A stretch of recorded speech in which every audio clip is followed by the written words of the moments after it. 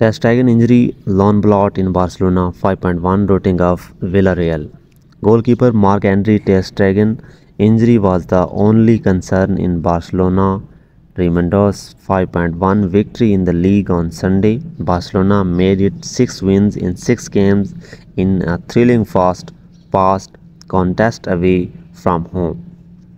Barcelona maintained their perfect start La Liga with a commanding 5.1 victory over Villarreal on Sunday, September 2020.